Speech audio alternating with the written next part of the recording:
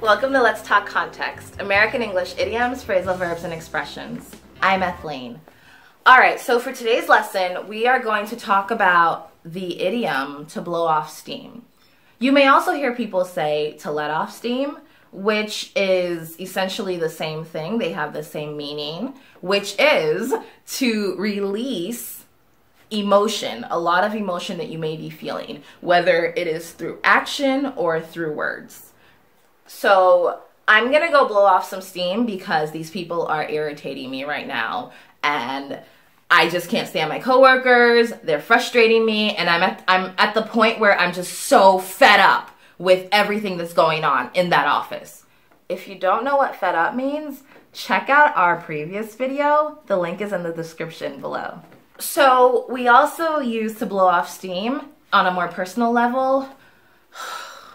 My parents are so annoying. They just are constantly on my back about college and SATs and I, I have to do all these things. I just, they make me do all this work and I have prep classes, I have this, I have, I have music class. There's just so much. I just, I, ah, they're always on my back. Can we just go out and I just need to blow off some steam, girl. I just need to blow off some steam. Like, seriously, because these people are driving me nuts.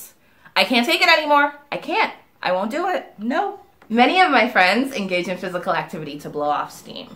Whether they go play basketball, they swim, maybe do Pilates, or run on the treadmill at the gym. But the act of engaging in that physical activity for the sake of releasing that negative emotion or the frustration that they feel is the act of blowing off steam.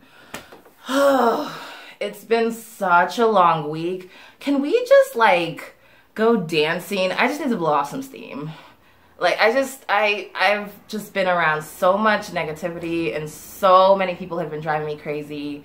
I I got to do something to get rid of it. So, can we just go dance and blow off some steam? That would be great.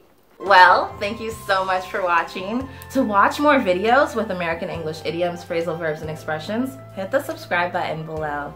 Bye!